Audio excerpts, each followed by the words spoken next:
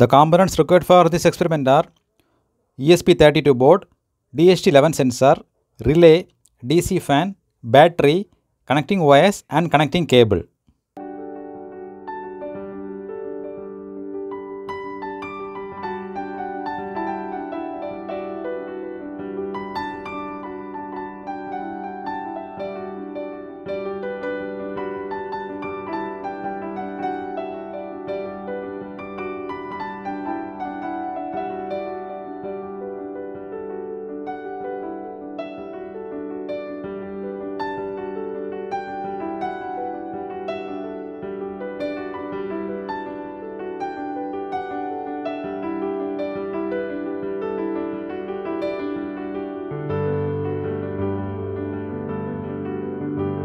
Now log into the blynk.cloud website.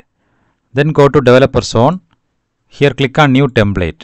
Give the template name as temperature controlled fan.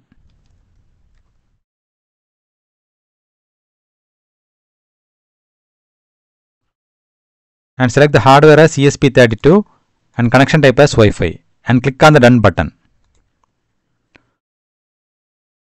Now go to data streams, select new data stream and then select virtual pin. Here give the variable name as temperature.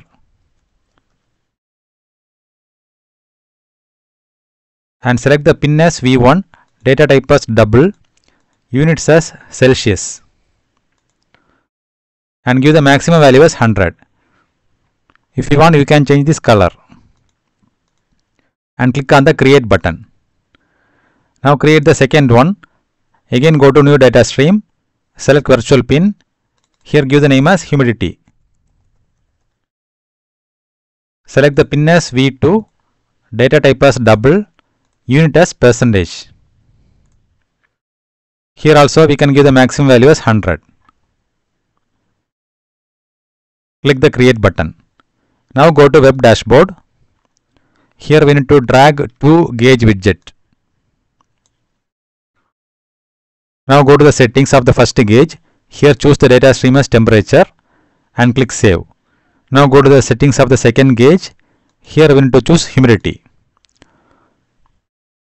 Again click save button. Now save the template. Now go to devices. Click on new device. Select from template and here we can see the template which we created. Select the template and click create button. Now we got the template name, template ID and the authentication token. Copy this and paste in the program. Then we need to install the Blynk and DHT library from Tools Manage Libraries. Then enter the Wi-Fi username and Wi-Fi password. Now we need to upload the program. So for that select the board from here. Here click edit button. The port is already selected so we are using ESP32 Dev module select this from the list of the boards, click OK. Now click this upload button and upload the program to the ESP32 board. Now the program is successfully uploaded to the ESP32 board. Now we can set up the Blynk mobile dashboard. For that download the Blynk IoT application from the Play Store. Now once you open the application, you can see the template which we created in the Blynk web dashboard. Click on the template, go to settings icon, then click the plus icon from the bottom here also we need to add two gauge widgets. Now click on the first gauge. Here choose the data stream as temperature. Go to design. Here give the title as temperature. Now go back and click the second gauge. Here choose the data stream as humidity. Go to design.